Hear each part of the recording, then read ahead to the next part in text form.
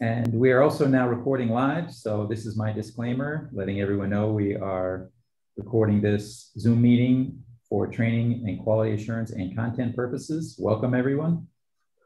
I'll put a note in the chat that uh, this is being recorded. Uh, the recording will be available um, after after this, once it's processed and everything. So be sure to request that and be sure to sign in so we know to send you the recording afterwards.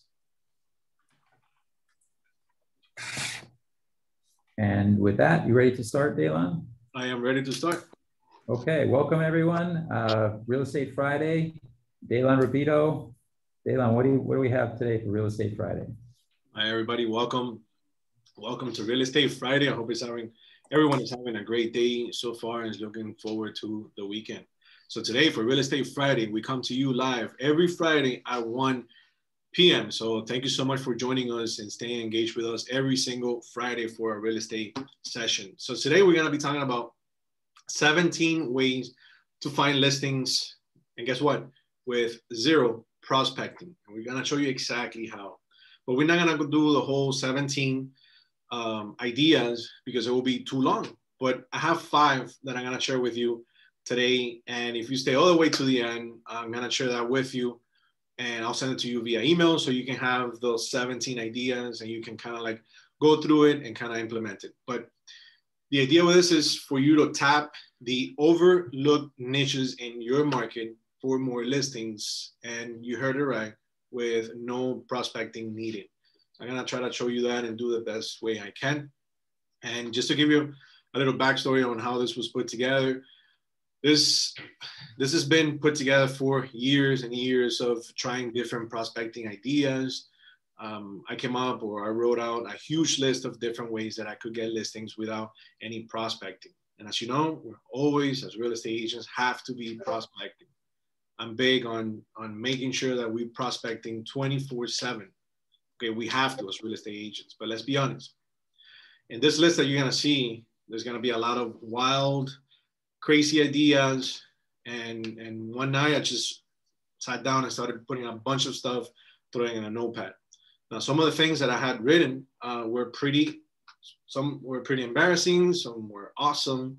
In reviewing it, I even came out with a few more ideas but I've listed the best ideas that I came up with for you, and I will share them with you today, and obviously I'm gonna send them to you. So they fall into two categories, and you will see that. They the two categories are ideas that turn out to be winners that I'm still using to this day, and ideas that have yet to implement, but I suspect that they have a good chance of being successful. You may agree with or already implemented some of those or, uh, or all of the ideas I'm going to share with you or all listing opportunities that I have identified here, but I can guarantee it. Okay, I cannot guarantee it. They may feel some some of them are ridiculous or too much work. Some of these approaches may not be your style. Either way, it's up to you to determine that or what will and will not work for you individually. So you must take these ideas from seed to fruit in your business. Nobody can do that for you. Only you can do that. So what I'm what I can do is make the following guarantee. When you take a step back from chasing business, from cold calling and prospecting to reframe your perspective, you will always reap the benefits. So think about it this way. Think of a, a late night TV commercial asking, are you having trouble sleeping? at best, they can only assume that you are because it's late, right? You can't sleep. Imagine how much more effective their marketing would be if they could specifically target only people who had already searched for sleep remedies or visited a specialist about their sleeping troubles, right? It would be a lot better. Marketing for real estate leads works kind of like the same way. The more focused and fine tuned your targeting is, the more effective it will be. So let's go ahead and let's go over the following five ideas that I'm gonna give you today. These ideas, I use them over and over again. I have implemented and we go way back. So this is my five idea. I'll share the rest with you and I'll send them to you. So idea number one, go back in the MLS and find old expired other agents missed. Now we're talking about expired uh, listings. So go back into the MLS and find old expires other agents missed. Now this one is the, the least contested niches that you'll come across. While everyone is chasing new expire leads, right, left, center, old expires are much less prospected groups of sellers. Very few agents are interested in them. Think about it. And you know what that means for you. Motivated sellers looking for the right realtor. So start looking for homes that were listed, I would say three to six months ago, and go as far back as four or five years to find old expires who might be already get who might be ready to get back in the market and finally sell their homes with the help of a realtor. Now, market conditions have likely improved, right, since these homeowners last tried to list, and they're more likely to get their asking price. Think about it, especially in Miami. Everything has gone up. There's a there's a high demand, so the chances of that now selling are even higher. So go back to the MLS and search for uh, old expires that agents have missed. Idea number two create, create a unique marketing proposition specifically targeting expires. Create a unique marketing proposition specifically targeting expires. Now, expire listings are a staple of real estate. And to win these uh, leads that every agent seems to be going after, you have to stop trying to win them over by bashing the last agent do not go in with a typical your home was priced too high either. That just annoys owners. So you're the agent, getting the home sold is your job. So give them a reason to want to work with you, sell yourself. And here are a few ways that you can market yourself to expires in a unique way. So here's some ideas on how to sell yourself in a unique way to expires. Put together a case study portfolio. And when you do that, uh, highlighting specific instances where you were able to sell a home another agent couldn't. Explain why, tell the story. You can even put that together in a video. Okay, this is just idea, sky's the limit, just be creative with them. Number two, offer a, com a comprehensive market analysis. Show the owners what you would do to sell their homes without demanding a drop-in price or uh, lay out uh, the avenues your company uses to market these listings. Okay, put a comprehensive market analysis in front of them and show them how you can accomplish this. The other one is review the home, property, location, surrounding areas. And, and when you do this, look for uh, unique features that you can bring to focus. Look for anything big or small that that that would catch a buyer's interest from a pool to a school or even an amazing, uh, an amazing sunset, sunset view. For example, I'm gonna use um, Alexander, he's in the chat, in, in the, um, the Zoom here with us. He put, uh, he got a listing and the highlight of the listing was, uh, you remember what it was, Alexander, right? It was the backyard. From the backyard, if I'm not mistaken, you could see the sunset. It was a beautiful lake right in front of it. And it had a beautiful pool.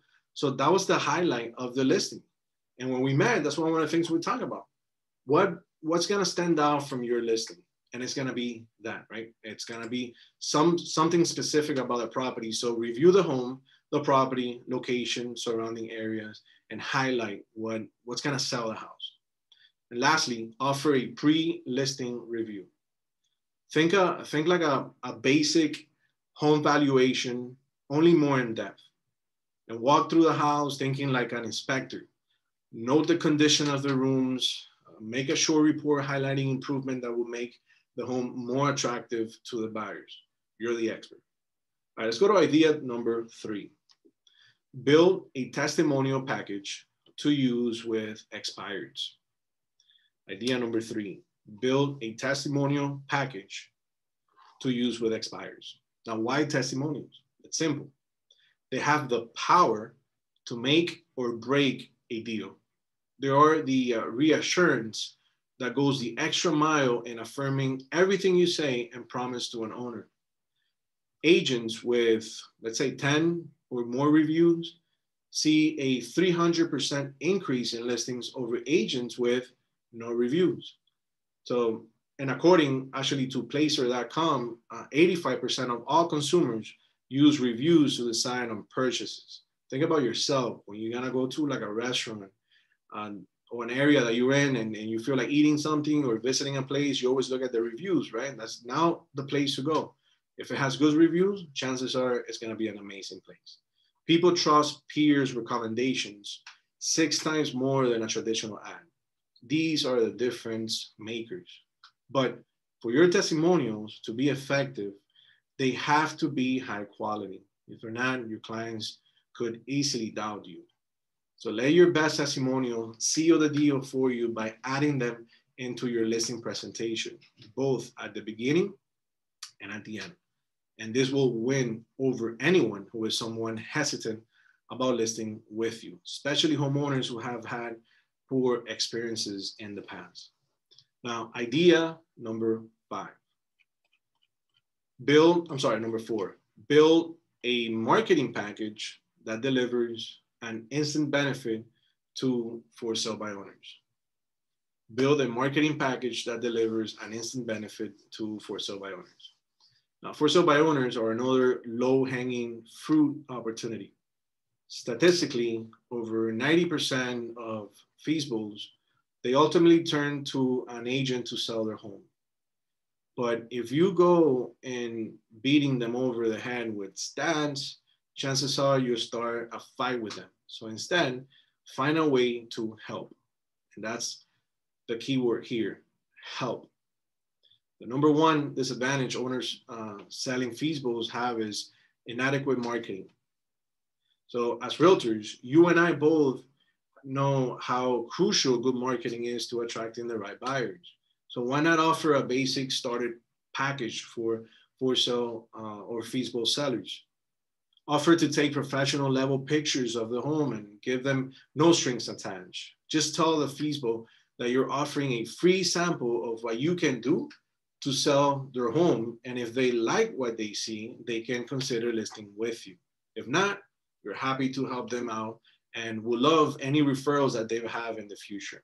So this is a great way to even build that relationship with somebody that you, you, have, you don't know yet. So if you really want to sweeten the, the pot, have an assistant or a freelancer give your pictures a once over um, with Photoshop or a similar image enhancing tool. You'll score huge brownie points with them while um, positioning yourself to have an edge when they decide to list. So speaking of photography, you should make a, a big deal about that with all homeowners, expires for sale by owners, whoever is thinking of selling with you. Talk about pictures and make a big deal about it with all of them. It's very inexpensive to have a little touch up done and the payback uh, from better pictures is a proven outcome. And the other thing I wanted to talk to you, and this is the last uh, idea, and going back to expires is go back at the beginning i said go back old expires but how about if you do this also and implement this one if you're able to see when a listing is about to expire why don't you contact the, the listing agent and offer them that you would like to do a walkthrough uh, showing of the property that you want to go in and record the entire property the idea with this is two ways of winning this. Number one, if for some reason you cannot, uh, the listing agent was not able to list the property, guess who has all the pictures, walkthrough video, and its, positioned in a better way when it comes to the marketing point? It's you, right? So the chances are, or the listing agent is letting you go through the house, showing the property or doing a video tour of the property. It's awesome because now you have something to showcase your your um, your buyers. But if the house expired, if that listing never gets renewed, now you have all this footage with you that you can put together a presentation and present it to the seller. And guess who knows the property well? You are. So you can even put that together. And this is just uh, an idea thinking outside the box. Now the point is, is you got to make these strategies work for you. One thing that I have learned in, in 17 plus years of selling real estate is that the more focused you are, the more effective your marketing can be. You got to find a niche that works for you. Then do something different. That alone will help you win listings because your actions capture the owner's attention. Now, I'm not talking about cheesy gimmicks, but real unique differences. The niches that I, that I talked to you uh, today, they by no means every listing opportunity out there. Okay, it, it doesn't help with everything, but you got to find new places to look, new ways to look at the old places. It's the only way to stand out from the crowd. Do that, and you will get more listings. Um, who, who's the one that said um, Ben Franklin summed it up nicely in his autobiography when he said, "Never confuse motion with action." So whether whether it was a, a huge eye opener for you or just an affirmation of something that you have already discovered, what matters is that the action that you take today going forward, okay, is that action that you take today. That make that commitment that you decide right now. So I love to hear about some ideas that you are going to put into action for your business.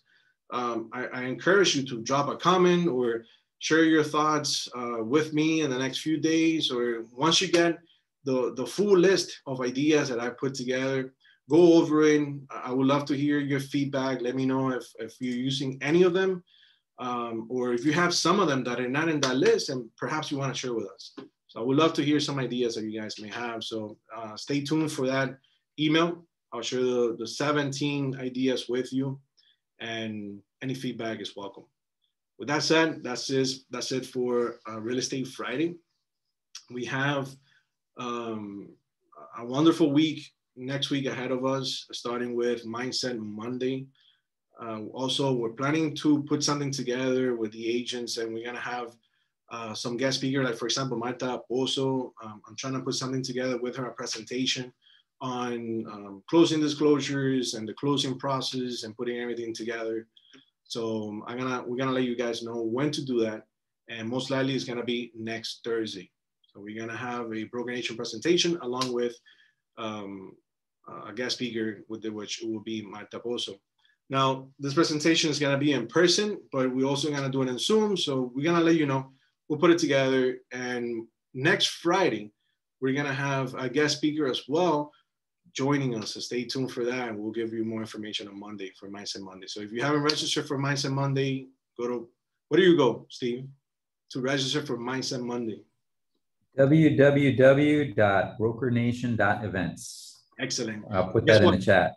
When you go there, it's not only Mindset Monday or Real Estate Friday. Keep up with all the all the trainings, upcoming events that we have. Just go to www.brokernation.events and stay engaged with everything that we're doing as a company to help you become better agents. So I hope you guys found that very helpful. Um, Steve, anything else you want to add? Uh, no. Uh, did everybody see the uh, video, or, uh, Daylon's uh, comedy video, the, the, latest comedy duet? Yeah. Armand, Armando and Daylon. If you haven't, check it on Facebook or uh, reach out and Daylon will send you a link to it. Absolutely. If you haven't seen it, Steve, how about this? We share it again. And so they can have it, so they can repost it. The uh, so you know it, it's it was really funny. It was really nice, and and it was a lot of checks too and the point of the matter is, right, watch what happens when uh, Armando tries to sign 80 checks in uh, less than two minutes. So uh, it's, a, it's, a, it's, a, good video. We'll drop the link to you guys uh, in the follow-up email, I guess. And um, we had fun with that. Make sure you like it and share it. Awesome. Thank you. All right, guys. Thank you so much for, for, for tuning in with us today for Real Estate Friday. I hope you have a wonderful rest of the day, an amazing weekend. I'll see you guys on Monday. Take care, everybody. See you later, Daylon. See you later, Jonathan. Goodbye, guys. Bye.